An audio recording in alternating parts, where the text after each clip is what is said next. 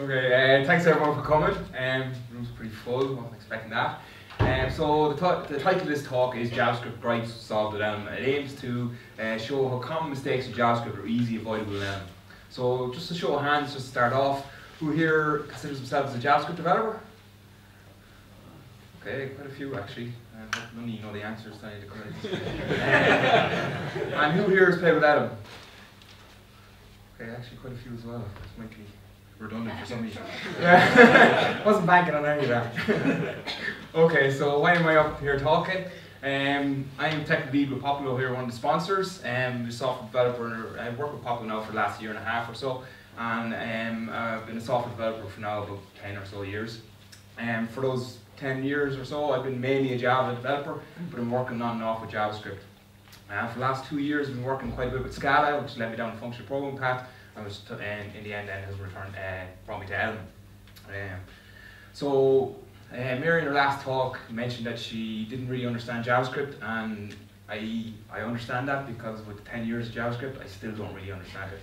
Um, and I hope this talk kind of highlights some of those problems. So just to set the scene, I'm just going to tell a quick story. So there's a bit um, uh, front end work to be done, and of course I stick my hand up. I think, yeah, I'm great at front end stuff. I can do that. I like doing it. It's great. So I start working on it, and um, I get my feature built, and I uh, deploy it to my local test environment, which I start testing. And it's not long before I realize I made 100 more mistakes. I have typos, I have compiler errors, all sorts of problems, and I go through them one by one, and I start fixing them. And I eventually get my code um, fixed, I get it te um, tested locally, I get it reviewed, and I get merged to develop. And I feel great. I feel happy, delighted, I can move on to the next thing. Code gets pushed into the test environment and QA start having a look at it. And it's not long before they grab me by the ear, pulling me across and saying, there's a problem with this, it's not running in IE. Of course I have a Mac, I never test in IE, why would I? Um, but there could be any number of mistakes that you, you would easily miss in JavaScript. Um, so obviously I feel a bit like this guy, feel a bit frustrated. This could easily be avoidable um, if I was using something else. Um, so just to hammer home the point of a bit of a pop quiz here, okay, so I'm going to hope that maybe this is a little bit interactive, people get involved. Um, so the first one here, probably, there was a lot of hands up there for the JavaScript, so I'm sure everybody already knows this now. But double equals versus triple equals, it's uh, slightly different in JavaScript. Um, for a junior developer, they might not immediately know what the difference is. But just to give you the answer quickly, because I'm sure you all know, uh, the triple equals checks the type where the first one doesn't. So the first one will be false, second one will be true. Sorry, wrong around. Ten years I still don't know. okay, so second one, type of null. Logically, you might think type of null shouldn't have any type. Um, but actually, actually, if you execute this in JavaScript, it'll actually tell you it's an object. So logically, you might think then that null is an instance of an object, but actually it's not, okay? So a little bit of confusion there. Okay, so um, Booleans are a real pain point in JavaScript. So in this case here, we're checking to see true plus true. You might think should be equal to true, but actually what happened here because of uh, type coercion in JavaScript, uh, the first true gets converted to integer one, and the second uh, true gets converted to integer one as well. So that becomes two is equal to three, which is actually false, right? Um, so here gets a little bit more interesting. We have a string 10 minus 3. And logically you might think the answer to this is 10, or sorry, 7. Doing this on purpose. uh, so yeah, you'd be right, okay, so the answer is 7. But what if I flip that around now and I had a plus? Anybody know the answer to this? 103. Yes, exactly. What's the type? Type is a string, okay, so the types are different as well. Um, so now we get a little bit more complicated, okay? So I have an integer here and I call it a string on it. Does anyone know what the answer to this is if I run the browser? You knew the last one now, come on. Three is a string. But it's not, it's actually a compiler error, okay. okay, so, yeah, that's the first bug, okay. But what if I put double dots in it? Anybody know? No, no, everybody's afraid to answer now. String, okay? So it works, right? So, and the reason that, um, that this works is because tree dot converts, gets converted to a float, and float has the function toString on it, okay? Um, what about these three, okay? So a little bit more complex again. 42 space dot to fixed. Anyone want to take a stab on that one? Doesn't compile. It works. We're picking on you now What about the next one? 42.00 is a string. It's a non-cause. You're killing yourself here. what about the last one? 42 space dot space to fixed. Undefined. It works. we won't be taking your CV. and what about this one? Anybody know the answer to this? Everyone's afraid to answer. Yeah, that's what I want. Okay? Nobody? Answer's nine, okay? Let me know why? Greg, I know you know.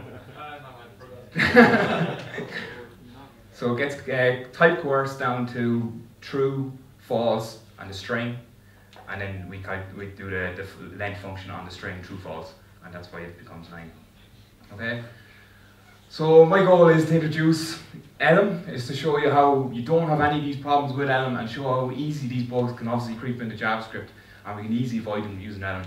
It's all to promote the idea of functional programming and just provide some food for thought for, for maybe you want to try some Elm. So what is Elm? Kind of mentioned it a little bit. It's a pure functional static uh, programming language. Um, it compiles down to JavaScript um, and if you look at any videos online, the first thing they'll probably always tell you is there's no runtime exceptions, okay? So companies like NoRedInk Um, advertise over 100,000 lines of code for over five years in production with zero runtime exceptions. It's also got great performance, um, so it uses the virtual DOM um, in its implementation by default, and in recent uh, uh, performance tests versus Angular 2 and uh, React, it's come out on top. I don't know, there might be some changes after recently, but um, it also has a unique thing called uh, semantic versioning, which prevents developers pushing breaking changes to public APIs without incrementing the major version of the package. Okay, so if you want to, if you're using a public package and you're pulling down um, patch changes, you can pull them down to your heart's content. You won't, um, you won't cause any breaking changes. If you want to pull down the major package um, update, you will have to make some changes to your public API, and it'll actually be, uh, tell you exactly what you need to change as well to make it work. Okay. And the one other thing I'd like to add to this is is when Elm compiles, it just works. It's great. You just don't have to worry about anything going wrong in the browser. Um, so my first gripe is null or undefined. Tony Hoare developed this um, as a way of assigning an empty value to a variable in 1965. He later described it as his billion dollar mistake for obvious reasons. Probably isn't a developer in the room here who hasn't seen um, a null pointer exception. Um, so I'm just going to show how this manifests itself in JavaScript. Does anyone know what happens if I execute this in the browser? I'm getting no responses now because everyone's afraid. so again, I'm going to get an exception. Does anyone know why I get an exception? Or, sorry, compiler error. Better check that. Should happen the other way Sorry. around. Exactly, right? So it's not immediately, obviously, um, in JavaScript, but null and undefined are subtly different. So they should be the other way around, correct? You got one right. so another uh, function here I have, um, so this you could think of this as maybe a third-party API, um, which you call with some variable. If that variable is, um, is falsy, um, it's returning an empty, it's actually returning nothing. So, but if it's truly, it's returning an object. You might assu- assume that what you're passing to this function is going to be truthy, and you're going to um, attempt to use the, the function that's on the, the object that's returned. Um, but again, um, this will return undefined if you pass something that's uh, falsy. So how does JavaScript, or sorry, Elm get around this? It uses maybe types, so I don't know if people have seen in Java or um, Scala um, the optional types that they have. Basically, it says um, something is either there or it's not there. All right. Um, so Elm has the same concept. Has a maybe. Something is just there or there's nothing. Okay. It, uh, it also has no concept then of null or undefined. Um, you just don't have those keywords. They're not there. You don't have to worry about them. Um, and then it also has the static typing that I'll go into a little bit later in the application. So how do I use these, right? So I have here a maybe type uh, called my string, and it's either just a string or it's nothing. And to use this, then I must use pattern matching in um, in Elm. So what I'm saying here is case my string of, and I give it the two possible outcomes that that is. It's either just there, and that gives me the path um, that um, should be executed when it's there and nothing if it's not there. Okay? Um, so that leads me on to my next gripe, which are switch statements and missing breaking sta- uh, break statements. So here I have a switch statement and it has two possible outcomes, right?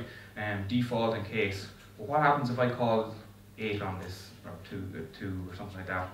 Then we know it gets executed? Both logs.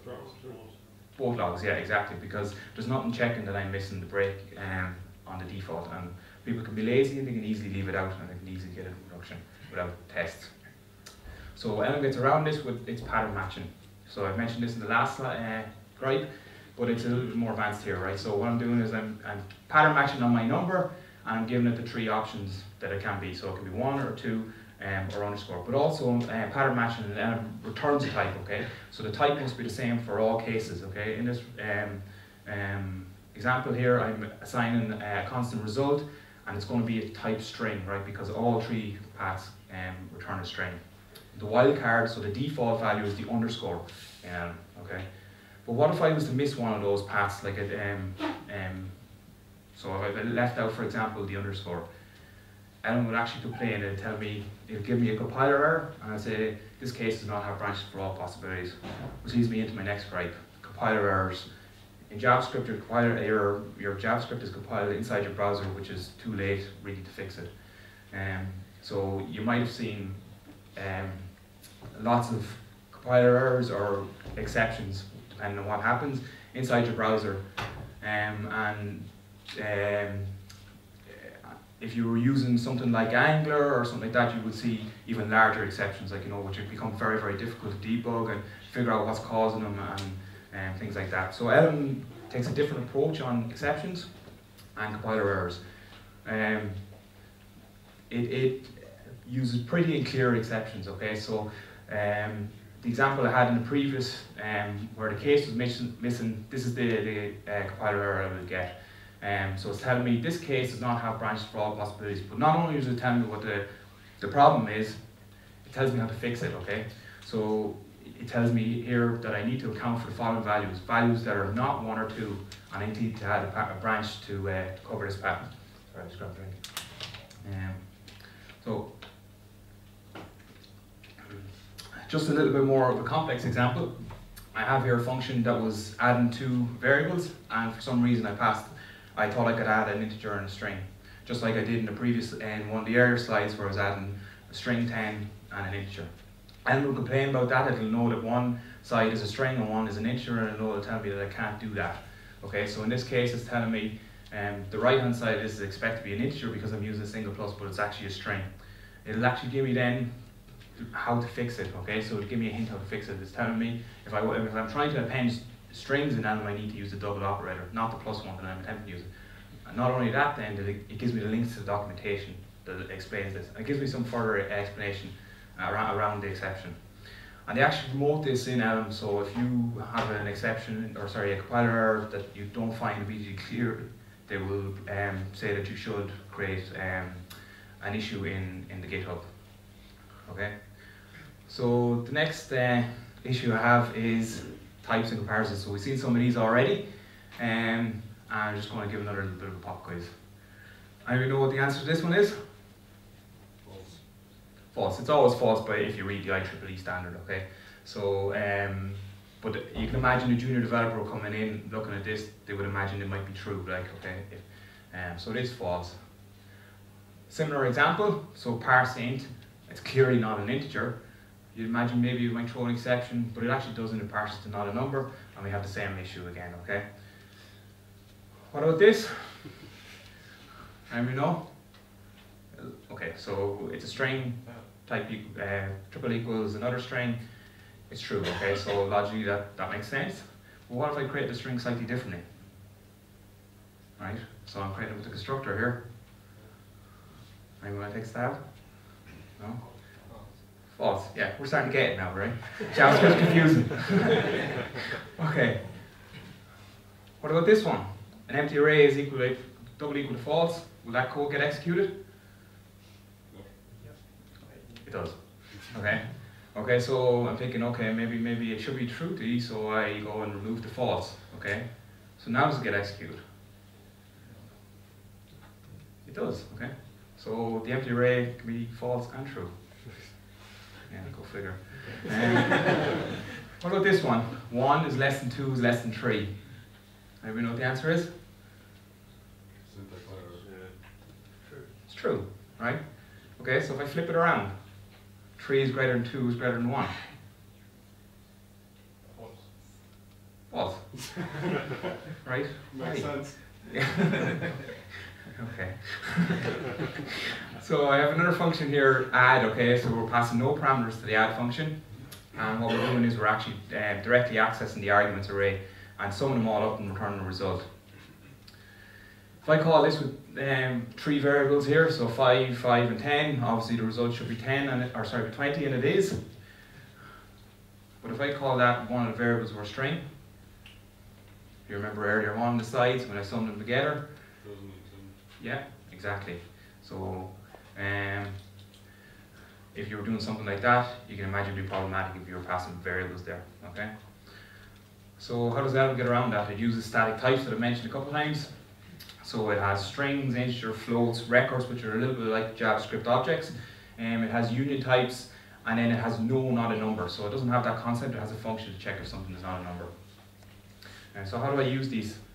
So I can define here um, x is equal to 4, and that'll be implicitly um, uh, typed as a number, um, and I can annotate it to say it's a, exactly an integer if I give it um, the colons above the, the variable declaration. I can also define custom types, like uh, here I'm defining a person's age in the, as, a, as an alias um, integer, and I can use that throughout my application and say anywhere I'm trying to use a person's age, it'll be in- inferred as an integer, but we can use it as a person's age. Um, and then I'm declaring a result boolean here, and what I'm saying is string integer is double equal to 10, right? So it's, there's no triple equals as well. Um, and when I do this, I get one of these pretty exceptions telling me I can't, I can't do this. Like, you know, that doesn't make sense. You're comparing a string to a, an integer, they're different types. Okay? So this leads me on then to the next thing I want to talk about is objects and how we index them in JavaScript. So um, there's multiple different ways of indexing things in JavaScript, and we'll see why these are problematic.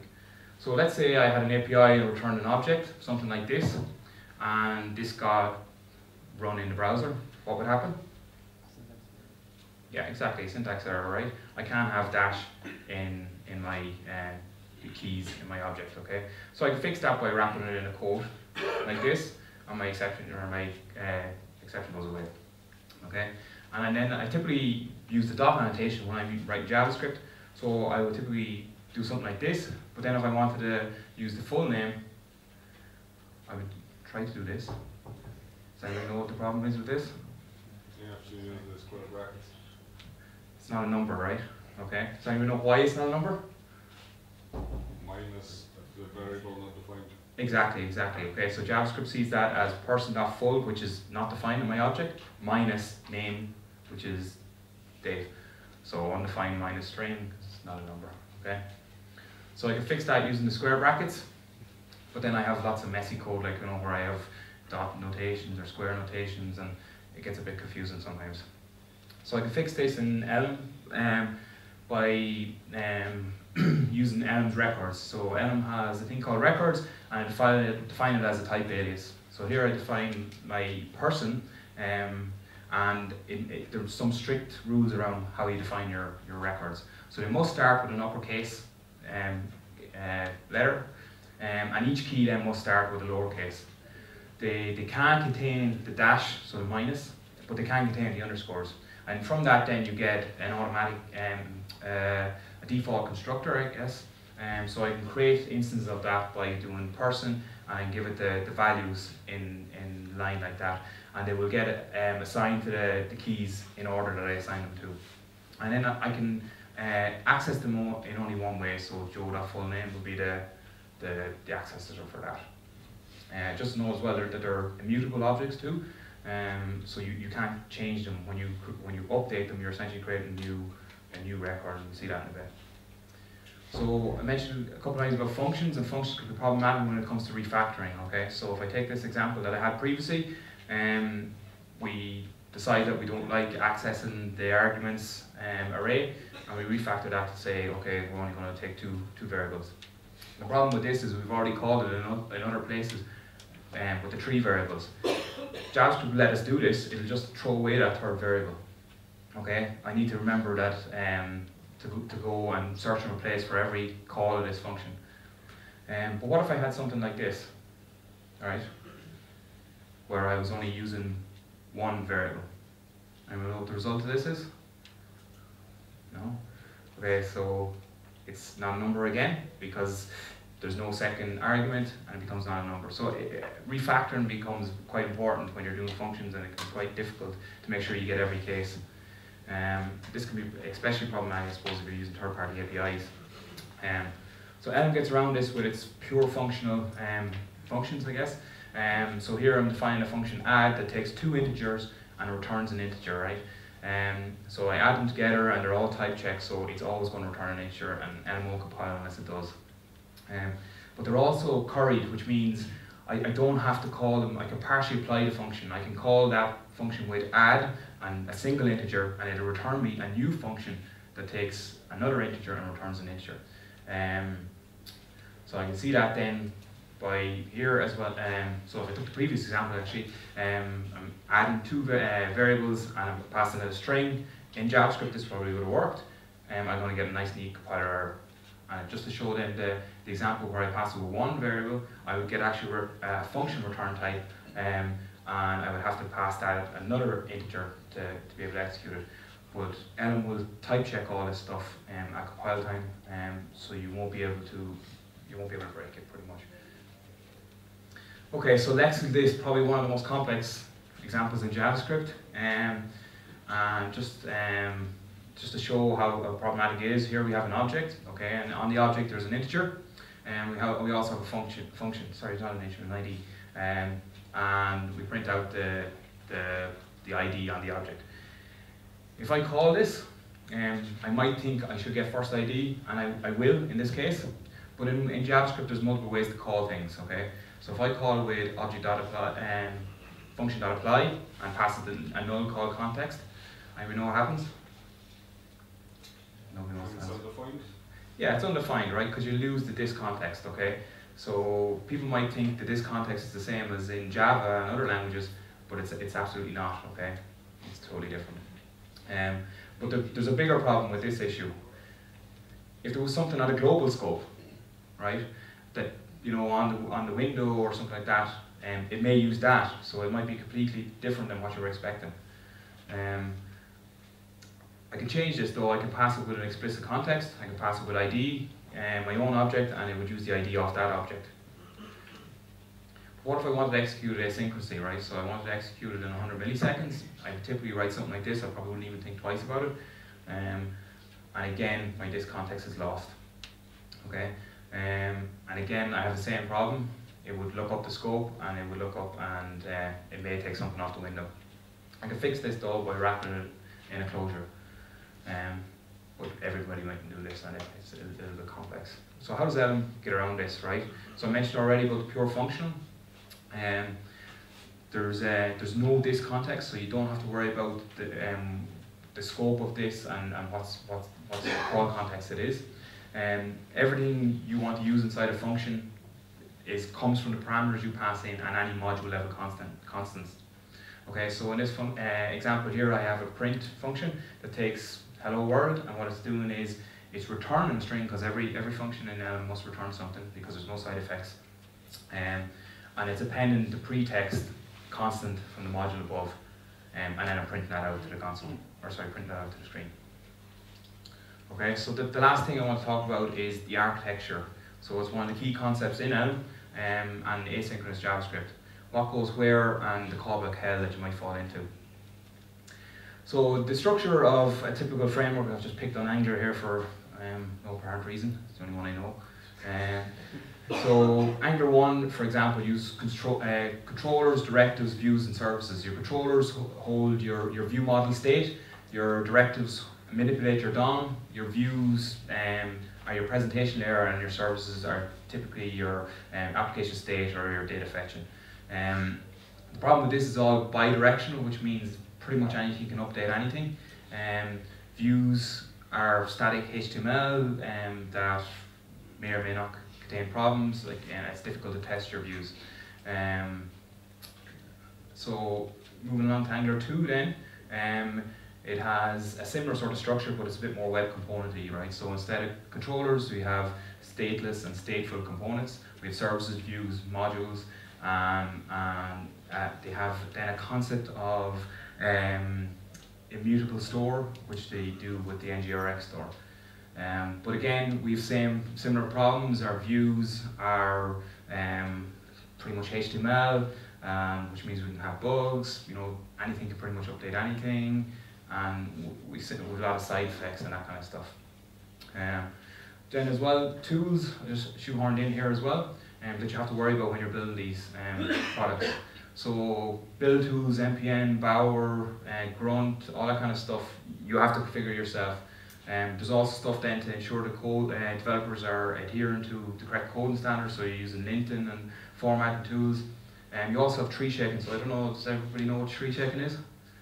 It's pretty much, it's kind of a new concept in UI, but it's uh, getting rid of code that you're not using to, write, to reduce the, the file size that you're serving to the client, okay? So Angular 2 is really pushing that. Um, and then the virtual DOM, does everybody know what the virtual DOM is? Okay, so the virtual DOM is an in-memory representation of the DOM, uh, and then what happens is that DOM is diffed with the actual real DOM in the browser, and um, events are just sent between the two just to, to reduce the amount of rendering that needs to be done, okay? Um, and then dependency management, um, so problems like npm and all that kind of stuff that you have um, when uh, you're using public, uh, public JavaScript packages.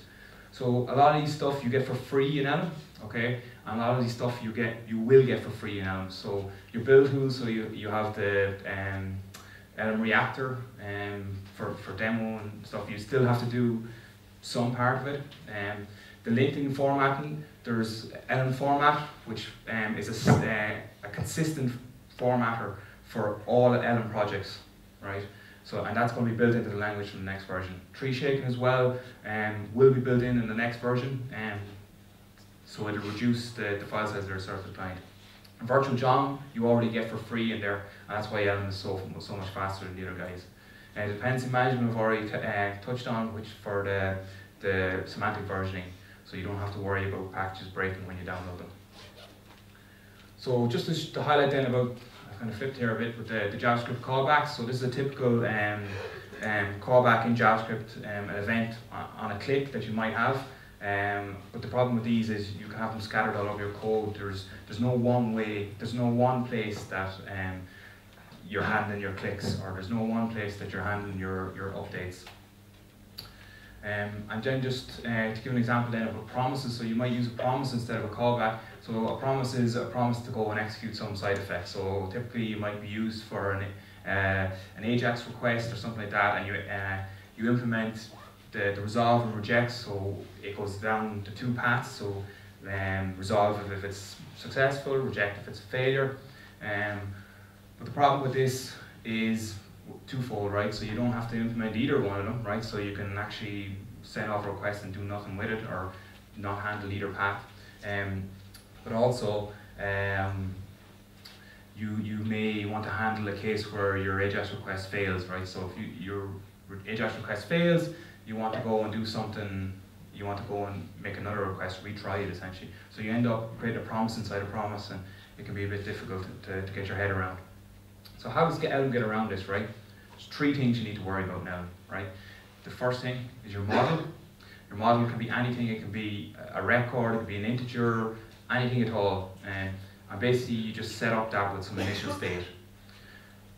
You pass that initial state to your update, um, and your update decides what it's going to do from there. So you will see now in a minute how it, it, could, it can take in uh, external events, but from your update you return two things. You return your new model, and you return a command. So command is a request to the Elm runtime to execute something, uh, some side effect. So it's an AJAX request and the, the Elm runtime will execute that and return me a message. The message then will cover all paths, um, so it'll be um, success or failure. And the update me um, method will accept that and pattern match on those messages that come in. So essentially your update function is, is just a, a pattern matching on the, the events that come in. So all your all your state is handled inside the update, right? And um, so you return your new model out to Elm, and Elm calls the third thing that you need to implement, your view. So your view is all implemented uh, with static functions um, in Elm, and what it produces is a HTML representation. And the HTML representation can also include messages, which are stuff like on click and stuff like that, and we'll see that in a second. So when we return the, the, HTML representation, that goes to the Elm renderer, which does your virtual DOM, does your diffing on the real DOM, and produces events that only update the, the bits that you need to update. So that's where you get your fast rendering from. And then if we click on something in the real representation, Elm has wired in the, the, the messages, so our messages get fired back to the Elm runtime, goes back into your update, and the circle completes itself again. So there's three things you need to update, or you need to worry about, the model, update, and view, and that's it. All your state will always be updated in your update function, your view will always be rendered in your view, and your model is your, um, your initial state. So just to give an example of these, um, so here I have a model which is for drag and drop. I don't know if somebody's seen these examples before. And I have an initial state, right? So a function that's taken in my model. It's going, it can return a command as well if you like, but um, doesn't have to. Um, and what I'm doing here is I'm saying create me a new model, give it an initial position of this, and then drag is nothing, so it's maybe type if you remember, and then no commands to execute. Um, and this is the update function, so I've just reduced this down to, so you can assume my module is now an integer just to save line space on the slide. Um, so I'm, I'm, doing my pattern matching here, so there's two events coming in, one is an increment, one is a decrement. I amend my model, and sorry, not amend my model, I return a new model because everything in uh, Elm is immutable. Um, and then my view function um, is something like this. So I create a new div by using the div uh, function that takes two arrays. Uh, first array is your list of attributes, your second array is your list of children, a little bit like you'd see in a real DOM. And uh, here inside the, the div I have two um, uh, child uh, buttons. One is a decrement and one is an increment. So I'm sitting here, on click I produce a, a, a decrement message and on click of this button I produce an increment message. Okay and that returns the HTML and um, that's capable of producing messages. So just further topics to, to round it off. Um, so I haven't touched on subscriptions, but they're a little bit like um, observables in JavaScript. Um, so you might use them for web sockets or listening in for mouse movements and things like that. Um, testing as well, I haven't got a chance to touch on, but because everything in Elm is pure functional, no side effects, everything, everything works in the parameters it's given, testing just becomes a doddle. You don't have to mock anything, you don't have to do anything like that. Ports, a little bit more of an advanced feature and um, it's just a way for, because Elm is so new, it's a way for communicating with other JavaScript libraries. Or, so it's essentially um, a messaging bus, but um, yeah, so you just use it for using a JavaScript library that you, you wouldn't want to, or you would, it hasn't been implemented in Elm already. So I mentioned already about HTML being produced by those functions. There's a CSS library as well for doing the same thing. So CSS is all type checked, as, as is your, your HTML. And I mentioned earlier about like partial uh, applying of um, functions. We can do this nicely with our HTML as well. So we can compose functions to build up our HTML and a lot less lines of code.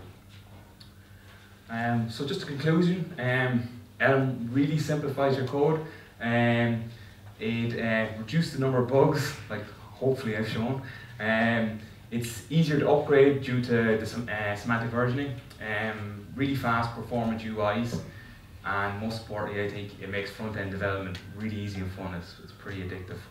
Um, so that pretty much covers it for me. Um, anybody got any questions? Yeah. Um, I guess the first question is, what is this? right? Because, um, like, is it a programming language and whatever it is that you write on that, you just, I don't know, transpile it to ES5 and then run it in your browser? Yes, so it? It, it's a programming language developed by um, Evan Kapitsky. Greg, you might help me on that one? I, don't, I can't pronounce the second name. Um, but it's it was released in 2012 and it's been pretty much run out of NoRedInk. So it's a, it's a language that compiles down to JavaScript, okay?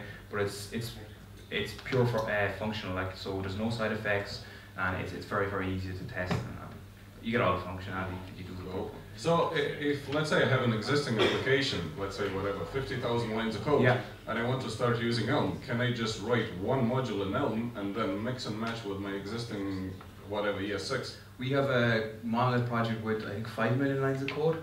Um, you can imagine much JavaScript's in that, um, and we're trying to do it at the minute. It's actually really simple because what you can do is you can just take any little piece of your application, convert that to Elm.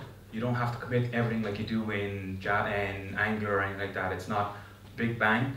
Um, you do little bits, and not only that, you can do you compile you can combine the little bits. So you can have, let's say, your side menu, write that in Elm, get it all working, te- test it outside the application too, um, and then compile it down JavaScript, and you just insert your JavaScript file in your application and say, okay, at that div I want to change that to um, my Elm application, and I could have multiple ones of those and compile up three or four different files, you know, to get little apps around my application and it produced me a single file, and I push that in, and just tell it where to, where to do the Elm map.